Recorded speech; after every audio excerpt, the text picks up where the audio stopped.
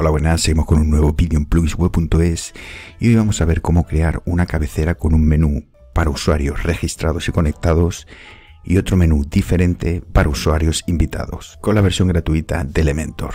Y también vamos a utilizar el plugin Header Footer Elementor para crear la cabecera y el menú. Muy bien, vamos a venir aquí a nuestro escritorio.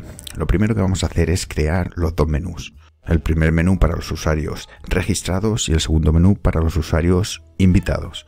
Venimos aquí a apariencia, menús. Vamos a crear un nuevo menú, hacemos clic aquí y vamos a poner menú conectados.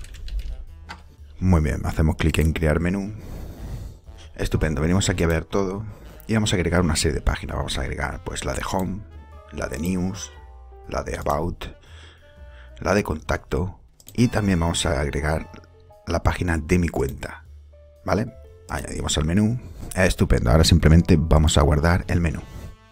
Ahora vamos a crear otro. Hacemos clic aquí y ponemos menú no conectados. Lo creamos. Bien, y vamos a hacer lo mismo. Vamos a agregar home, news, about, contacto, pero en este caso la de mi cuenta no lo vamos a agregar.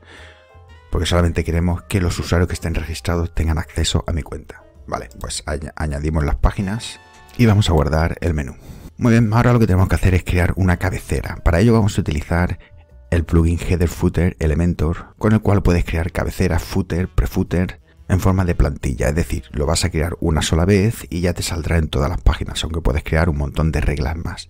Vamos a ir a verlo, vamos a venir aquí a plugins, añadir uno nuevo y vamos a poner aquí Header Footer Elementor. Bien, yo ya lo tengo aquí instalado, simplemente lo voy a activar y ahora vamos a venir aquí a apariencia a Elementor Header and Footer Builder. Muy bien, hacemos clic aquí en añadir uno nuevo. Vamos a saltar este paso y vamos a poner aquí Header conectados.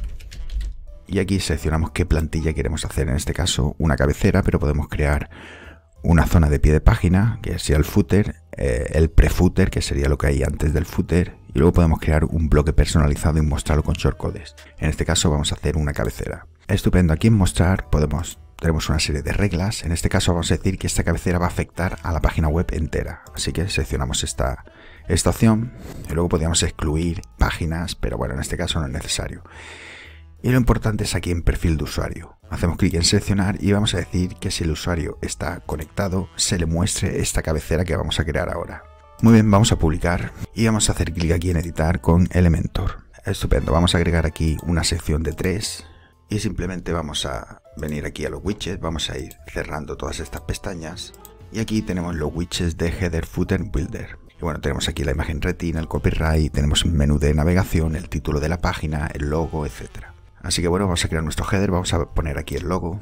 Muy bien, vamos a hacer un poquito más pequeño, venimos aquí a anchura y lo vamos a poner aquí. Y también lo que vamos a hacer es alinearlo a la izquierda. Bueno, la columna esta la vamos a mover un poquito y aquí vamos a agregar el menú. Venimos aquí en menú de navegación y lo arrastramos.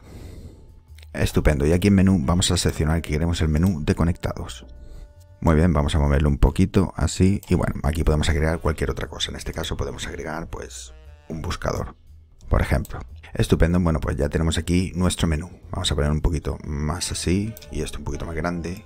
El estilo, vamos a darle una anchura un poquito más grande y ya está. Así lo dejamos. Aquí podrías poner otra sección si quieres y hay que agregar más cositas, ¿no? En este caso, para el ejemplo, nos vale. Bueno, simplemente vamos a actualizar y ahora vamos a venir aquí, vamos a hacer clic con el botón derecho y vamos a copiar todo el contenido y nos vamos a salir. Hacemos clic aquí en añadir nuevo y vamos a poner aquí header no conectados. Y muy bien, aquí lo mismo, vamos a decir que es una cabecera. Vamos a decir que se va a mostrar en toda la web y que el perfil de usuario aquí va a ser desconectado. Y listo, vamos a publicar. Bien, vamos a editar con Elementor. Y bueno, simplemente vamos a hacer clic aquí con el segundo botón y vamos a hacer clic en pegar. Y ya tenemos aquí nuestro menú. Ahora simplemente venimos aquí al widget de menú y lo cambiamos por el de no conectados. Y ya veremos que la página de mi cuenta desaparece. Muy bien, vamos a venir aquí a diseño y lo vamos a centrar. Simplemente hacemos clic aquí y lo centramos y ya está. Y ahora vamos a actualizar. Estupendo. ¿Qué ha pasado ahora? Que si ahora vamos a ver la página, y vamos a ver aquí a la página de inicio.